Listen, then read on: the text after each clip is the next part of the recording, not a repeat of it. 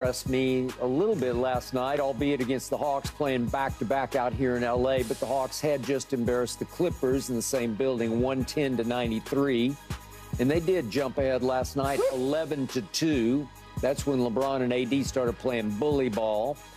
D'Angelo Russell started making threes. Lakers 136, Hawks 105. D'Lo's six threes tied Nick Van Exel's single season Laker record for threes at 183. D'Lo has done it in 64 games, while it took Van Exel 80 games. Paul, did anything you saw last night change your mind about the Lakers not being able to get out of the play-in? Skip, they're playing against the Atlanta Hawks. I got it. Who are also playing. They're in the 10th spot. No yep. Trae Young. Yep. This is a game they're supposed to win. Now, the thing I looked at about the Lakers, though, is like this is the way they have to play. The ball distribution was there. You know, you didn't have uh, LeBron taking 20 shots, AD no. taking 18 to 20 shots. When you actually give these other guys the ball, they actually can make shots, and they they're gonna you're gonna need these guys down the stretch like Russell, like Reaves, as we continue to to see them thrive. And so it just showed me if they play this way, yeah. No matter if it's the Atlanta Hawks or Minnesota or Milwaukee, that they can win. But I mean, this doesn't show me they can make a playoff run because they beat the lowly Atlanta Hawks you know, they have to do this against better teams on a consistent basis.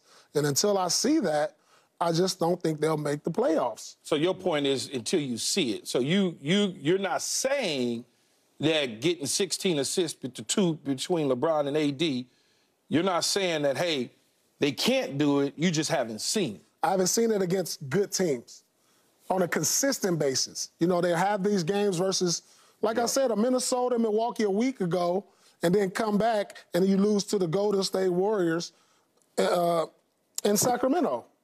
Okay. You know, so it shows me it's just inconsistent on a night in and night out basis. Now let's see how they finish out the season. Now say they they win like three or four or five games in a row coming down the stretch. I'll have more confidence in them winning the play-in and possibly making the playoffs. So tell me this, because I didn't. I obviously I didn't play in the NBA and I've never been in a seven-game series. You have. Mm-hmm one-offs to me as a person who just watches and analyzes basketball, one-offs to me is you can beat a dude. You know, I beat you in right. May and I beat you again in March and April. Right.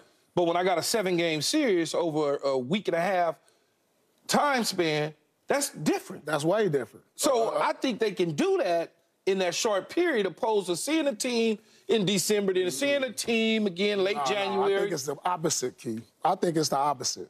They can one off like they did in the in the in-season tournament. Mm-hmm. You win one game against that team. Yes. But when a team, when the Lakers play against a team seven times and they have to match up and say the better team is always going to show in a seven-game series. Okay. And the Lakers aren't consistent enough to win a seven-game series yet. But when I look at last year, and, I, and last year is really all I could go on the seven-game series.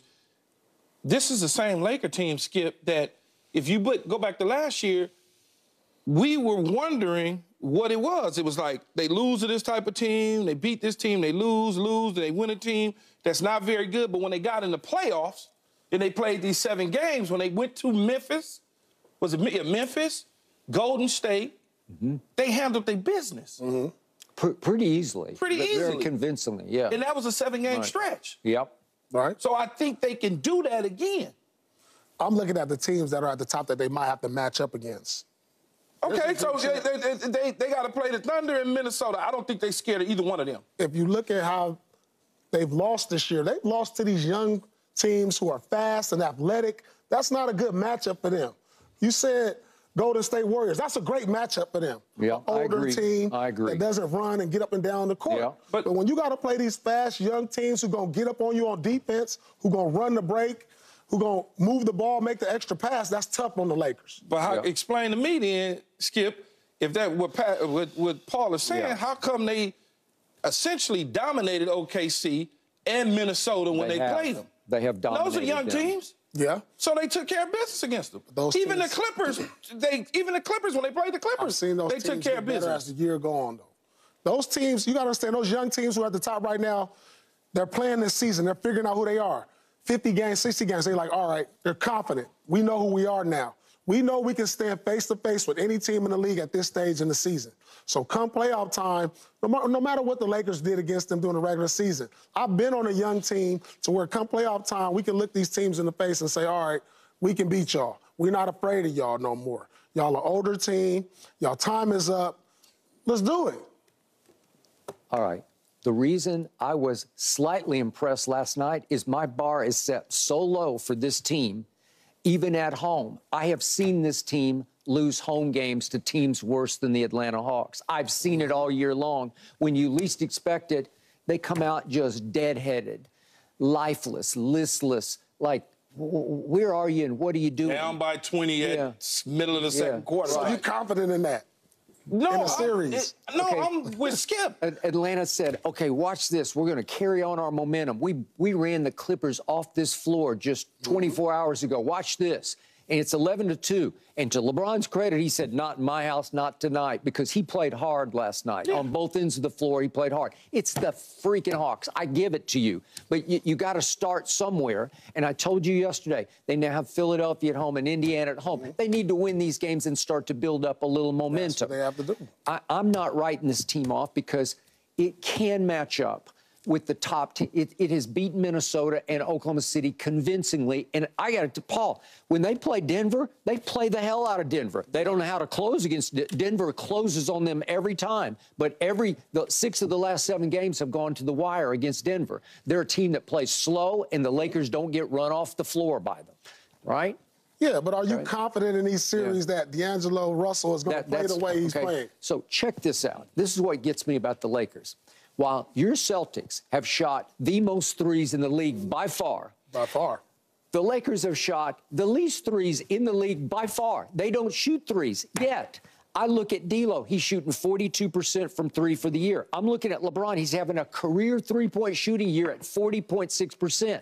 I'm looking at Rui at 41%. I'm looking at the Lakers as a team collectively. They're seventh in the league in three-point shooting percentage. Uh-huh. They don't shoot a lot of threes. I mean, they shoot the bottom of the barrel threes. I don't really get it. If if I'm them, if I've got D'Lo, I want what was Darvin Ham's sort of wacky quote. He said he doesn't have the green light, he's got the green room. I want him in a green room where he see whenever it touches your hands, shoot it as quickly as you can shoot it because he just tied the all-time Laker record for a single season three. Yeah, he had a nice yeah. night last night, but okay, two and, nights ago, roller coaster. I don't want him shooting. Okay, against you know? Golden State in the fourth quarter, he was one of six. Yeah, I yeah, can't. Okay, I the only thing that makes sense, you got three guys shooting 40%. You know what that's telling me? that the ball is being dominated by LeBron and AD. Mm. So if you guys aren't spreading the ball, making the extra pass, and you got three guys in a three-point driven league shooting over 40%, and you guys are – close to last, if not, what you say, last in last, three points last attempts? attempts. So yeah. why is that? If you got, if you're a great shooting know. team, if you okay. got these great shooters, it's because the ball is not getting distributed in the right people's hands. The, the, the, the ball is not getting driven downhill to create open shots in the corner and the wing, yeah. which tells me that the stars are holding the ball longer than they need to, yeah. To where you can't get these shots and play at a pace that you need to to get more three-point shots. Okay, you made a powerful point yesterday that LeBron is ball hogging a little too much much. He's stat machining a little too much as he goes over 40,000 points. Yet last night was a blueprint. If, if you're going to go places, exactly. this, this is it. Because I'm looking at shot attempts last night. LeBron took 14, and AD took 14, and D'Angelo took 14. Well, that that'll That's work. the way they have to yeah. play. Okay right? And yet, the Atlanta Hawks play less defense than the Lakers play, and the Lakers don't play very much defense. So, so that's that's why that's that, a gimme. That's got to be okay? the blueprint. LeBron has to shoot a higher percentage. Yeah he doesn't have to play as many minutes. No.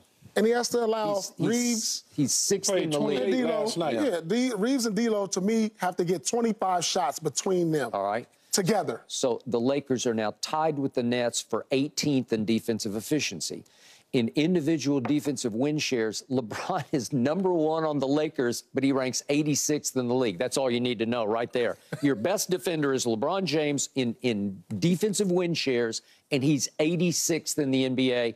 And AD is second. He's 113th in the NBA. They, they play no defense, no defense. and you can't yet yet. Keyshawn, have we seen them take it up a couple levels when yeah, they need to? But AD started, I'm going to say started complaining. AD yeah. mentioned yeah the poor defensive effort a couple games he ago. did. That they've been put in. So does that go back to the coach? Is the coach dialing it up the way they need to defensively? Yeah. Or because defense pause all effort, right? I mean, it's it's Well, all you gotta don't- want They don't to. have any versatility on defense, and then in, the- in the league to where you need multiple guys that can defend multiple positions. Mm-hmm. They don't have that. You know, if you get a mismatch where you set a pick on a guy, Reaves is guarding, or D'Angelo Russell is guarding, or LeBron uh, is guarding, you're, you're going to take advantage of that. You need positionless guys who can play multiple positions and guard multiple positions on the court, and they don't have that. You know, if you switch Reed on the big man Yeah, or on a point lose. guard, He gonna lose. exactly, and, and that's what they He gonna try. have. He's a try hard guy, but he's most likely gonna lose. Exactly. Paul, Key brought up Jarred Vanderbilt yesterday, and you scoffed, but he is by far their best defender. He, he is a He's their pretty most good versatile he- he- defender. He, is because he's long and he's strong and he's got a little nasty in him. He and- hasn't and been with us in a minute. and he hadn't hasn't been. been there. He hadn't been there, and I don't know what's his deal. And Cam Reddish defends at a fairly high level, and he's not available right now.